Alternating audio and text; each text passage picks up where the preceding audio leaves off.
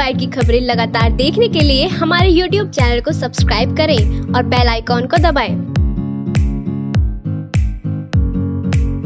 इस खबर के प्रायोजक है जैना ज्वेलर्स आबुलेन मेरठ। नमस्कार, मैं हूँ रवि शर्मा और आप देख रहे हैं फ़र्स्ट बाइट डॉट टीवी। आखिरकार चार हज़ार करोड़ रुपए से ज़्यादा के बाइक बोट घोटाले में एसआईटी व आर्थिक अपराध शाखा ने तीन और घोटालेबाजों को गिरफ़्तार कर लिया। इन महा घोटालेबाजों में संजय भाटी का भाई सचिन भाटी लोगों को तेज़ी से फांसने की कला में माहिर पाते हुए डायरेक्टर बनाया गया। करण पाल व पवन भाटी शामिल हैं। इनमें सचिन भाटी व करण पाल पर पचास पचास हज़ार रुपये का इनाम घोषित था।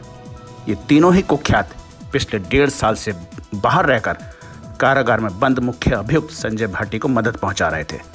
साथ ही संजय के कामकाज को देख रहे थे। करणपाल की भूमिका डायरेक्टर के साथ ही मुख्य कोषाध्यक्ष की भी थी।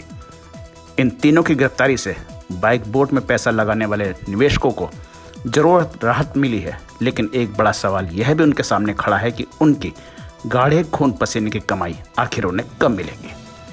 इस महाघोटाले में अभी भी तमाम बड़े मगरमच्छ बाहर खुली हवा में न सिर्फ़ सांस ले रहे हैं, बल्कि दूसरे के पैसों पर खुलेआम ऐशो आराम की ज़िंदगी जीते हुए संबंधित मुकदमों की पैरवी में लगे हैं। बाइक बोट घोटाले को फ़र्स्ट बाइट टीवी ने शुरुआती दिनों से ही बेहद शिद्दत से उठाया है।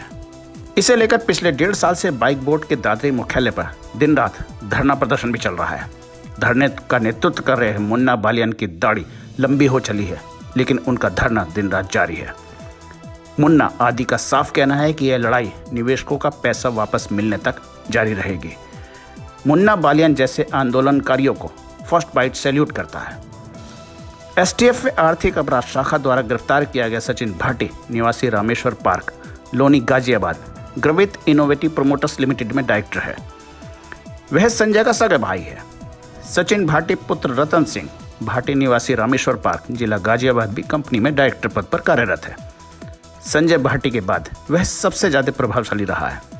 करणपाल, निवासी एफ़ तिरासी गंगा सागर मवाना रोड मेरठ शामिल है। करणपाल कपड़ों की सूट लेंथ सस्ते दामों पर बेचता चला आ रहा था। लोगों से इस दौरान अच्छा संपर्क बन गया। लोगों को बहुत तेज़ी से अपनी बातों में फंसा लेने की कला को देखते हुए ही संजय भाटी ने करण पाल को डायरेक्टर के साथ ही खजांची भी बना दिया था। दो लाख रुपए प्रति माह फॉर्चुनर व फुल ऐशो आराम उसे कंपनी ने दे रखा था। इस बारे में अपर पुलिस अधीक्षक, आर्थिक अपराध शाखा, डॉक्टर राम सुरेश यादव ने फ़र्स्ट बाइट को यह जानकारी दी। ये हम लोग एक विवेचना कर रहे हैं जो कि बाइक बोर्ड से संबंधित है। थाना दादरी जनपद गौतम बुद्ध नगर में मुकदमे पंजीकृत हुए हैं। इसमें कुल सत्तावन मुकदमे पंजीकृत हुए हैं, जिसकी विवेचना हमारी पाँच इंस्पेक्टरों की एक टीम द्वारा की जा रही है। उसी विवेचना में आज तीन अभियुक्तों को हम लोगों ने गिरफ़्तार किया है, जिसमें एक सचिन भाटी है, जिस पर पचास हज़ार का इनाम है दूसरा करण पाल है, उस पर भी पचास हज़ार का इनाम है और तीसरा एक पवन भाटी है, उस पर उसके खिलाफ कोर्ट के द्वारा वारंट है। ये तीनों बहुत मुख्य अभियुक्त हैं इस पूरे मामले के। करण पाल जो है, वो बाइक बोर्ड वाले जो प्रकरण में जो हम लोग जिसकी जाँच कर रहे हैं, उसमें मुख्य खजांची था और कोषाध्यक्ष था। इसके द्वारा ही सारे चकों पर और जितना भी पैसे का लेन देन हस्तांतरण किया जा रहा था, वो इसी के द्वारा किया जा रहा था। इसी तरह से जो सचिन भाटी है, वो जो इस पूरे प्रकरण का मुख्य अभियुक्त है, संजय भाटी, उसका सगा भाई है। इसका भी इस पूरे प्रकरण में काफ़ी बड़ी भूमिका है।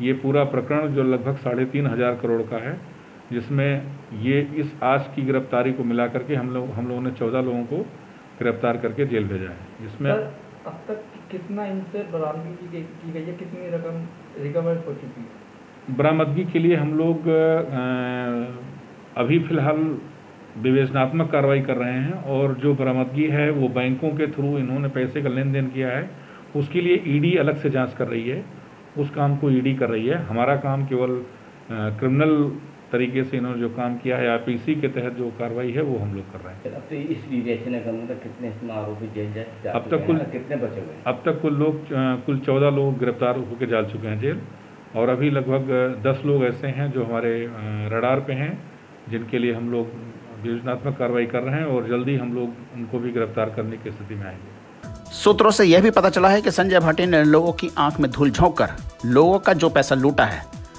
उसे उसने विदेशों में निवेश कर रखा है।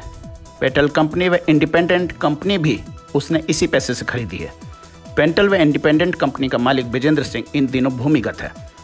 सूत्रों का कहना है कि ऐसे तमाम नाम उजागर हुए हैं, जो सफ़ेद पोष हैं और संजय भाटी द्वारा लूटे गए पैसों पर ऐश कर रहे हैं।